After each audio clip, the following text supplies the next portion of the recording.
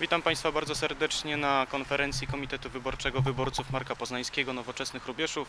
Za pośrednictwem hrubieszowskich mediów chciałbym Państwu zaprezentować plan zmian, program wyborczy dla naszego miasta, miasta Hrubieszowa. E, Od kilku dni z kandydatami z mojego komitetu chodzimy od drzwi do drzwi i przekazujemy materiał wyborczy e, naszego komitetu, propozycje zmian na lepsze naszego miasta. Będziecie Państwo mogli nas spotkać. Program opiera się na czterech filarach. Na czterech filarach gospodarka jest najważniejsza, przyjazny urząd miasta, stop biurokracji, przyjazne miasto, promocja, turystyka i kultura. Są to propozycje, które niewątpliwie przyczynią się do zmiany na lepsze Hrubieszowa i polepszenia bytności życia hrubieszowiaków w naszym y, mieście. Pokrótce Państwu powiem, czego te, te, te, te propozycje dotyczą. Gospodarka jest najważniejsza. Niewątpliwie element, który często jest pomijany przez włodarzy naszego miasta. E, Ja proponuję w tym programie przygotowanie i uzbrojenie nowych terenów inwestycyjnych dla mm, nowych przedsiębiorców, którzy chcieliby e, stworzyć miejsca pracy w naszym e, mieście. E, Jest to mm, e, innymi wykorzystanie potencjału linii chłodniczo-szerokotorowej e, i stacji przeładunkowej, która do tej pory nie, niewątpliwie nie jest e, w pełni wykorzystywana. E, Wprowadzenie ulg podatków dla przedsiębiorców. Cały czas są te podatki podwyższane. Moją propozycją będzie obniżenie tych podatków. Niewątpliwie to pobudzi rynek, e, rynek który, który, który funkcjonuje w naszym mieście. Szczegóły będziecie Państwo mogli poznać w tym programie. Kolejny filar naszych propozycji to przyjazny urząd miasta, stop biuro- biu- biurokracji. Priorytetem będzie dla mnie, jeśli e, zostanę burmistrzem naszego miasta, to stworzenie zespołu urzędników przyjaznych petentom, e, urzędu, który będzie otwarty na, będzie otwarty na e, przedsiębiorców, na interesantów, nie tak jak teraz arogancja w głównej mierze i buta płynąca z naszego, z naszego, z naszego urzędu miasta. Oczywiście stworzenie budżetu obywatelskiego. Każdy z mieszkańców Rubieszowa ma prawo decydować o wspólnych pieniądzach, e, wspólnej kasie, decydować na co te pieniądze będą wydawane e, i komu będą e, służyły. Oczywiście priorytetem dla mnie będzie zracjonalizowanie e, wydatków, które ponosi Urząd Miasta e, na różnego rodzaju e, inwestycje czy obsługę jednostek podległych burmistrzowi.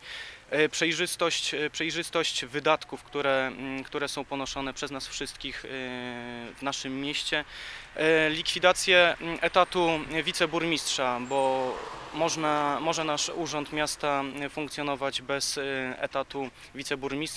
Likwidacja etatu kierowcy. Uważam, że teraz jako mm, poseł bez problemu wykonuję e, e, mandat, e, mandat posła, nie, nie mając, nie mając kierowcy, a także likwidacja Straży Miejskiej. Te oszczędności niewątpliwie wpłyną na realizację tych propozycji, które są w naszym programie.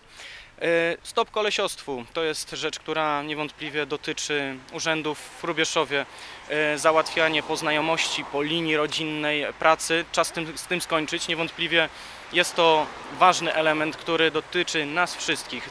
Zatrudnianie ludzi z wykształceniem, z, e, odpo- z odpowiednimi kompetencjami z naszego miasta, a nie tylko mm, spoza mm, na naszego miasta. Przyjazne miasto jest to filar, trzeci filar e, naszego programu, który ma wpłynąć na polepszenie życia e, w naszym mieście. Przyjazne miasto, czyli miasto dla wszystkich, nie tylko dla e, kolegów, urzędników e, i ich, e, ich rodzin. Zracjonalizowanie wydatków ponoszonych na oświetlenie miasta. Niewątpliwie ta rzecz dotyczy wprowadzenie takich technologii, które będą oszczędne. Kwestia wyłączania, a teraz włączania przed wyborami, która jest, można powiedzieć, śmieszna i trzeba, trzeba z nią walczyć.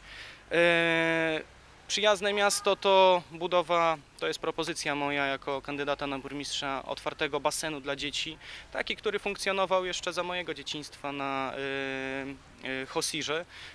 Teraz to jest y, piaskownica, zasypany mały basen otwarty, który wpłynąłby na naukę mł- młodego tego narybku e, w naszym mieście. Nie tylko wyjeżdżać do Zamościa, do Zamościa na basen, a taki basen niewielkimi e, nakładem kosztów można zrealizować w naszym mieście. Przyjazne miasto to również to, co było przed wojną, e, przystanie kajakowe na Huczwie, która tak naprawdę w chwili obecnej w żaden sposób nie jest e, wykorzystywana.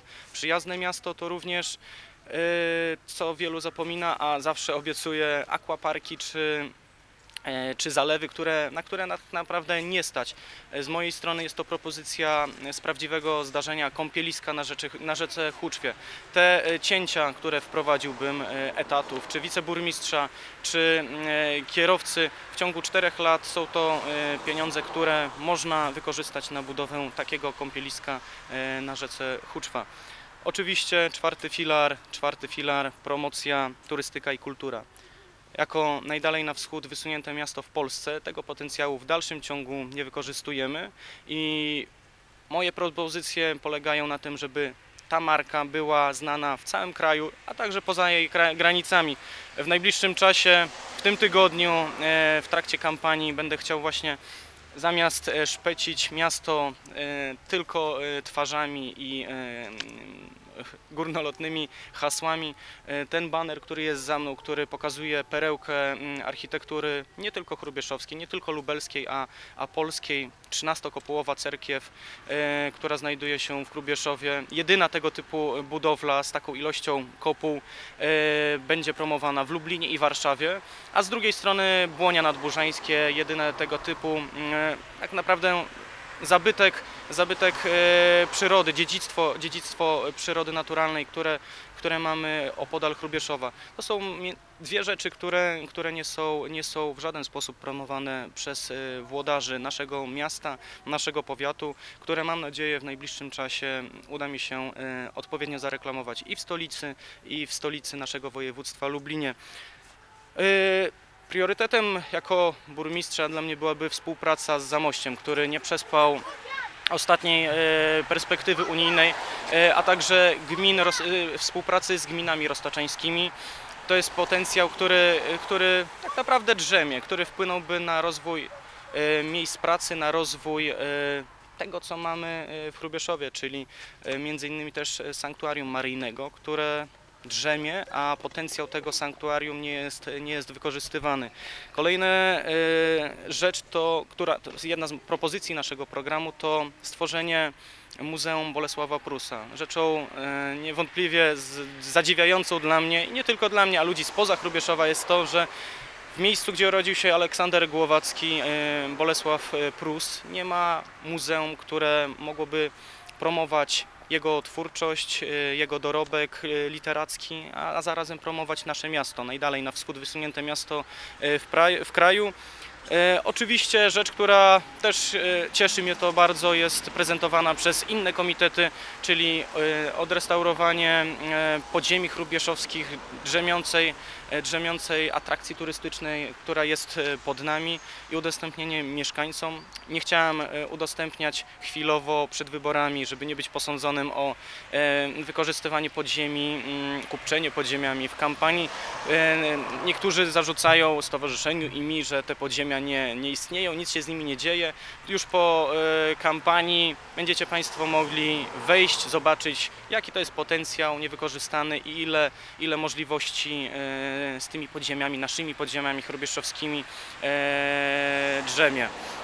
Oczywiście oprócz stworzenia tej marki, chrubieszowskiej marki e, e, najdalej na wschód wysuniętego miasta w Polsce, kolejna rzecz, którą e, proponuję, ja i, mój komitet to odnowienie chrubieszowskich e, sutek, architektury kresowej, jedynej tego typu architektury w naszym kraju, e, która mogłaby działać na korzyść, korzyść naszego miasta. Także jak widzicie Państwo, tych atutów Chrubieszów ma niebywale dużo. Kwestia z tego potencjału korzystać i czerpać korzyści dla miasta i mieszkańców naszego miasta. Gorąca prośba 16 listopada oddajcie głos Państwo na komitet Marka Poznańskiego, mój komitet i radnych mojego komitetu. Szczegóły przekażę, Państwu osobiście chodząc od mieszkania do mieszkania, od domu do domu. Dziękuję, do zobaczenia.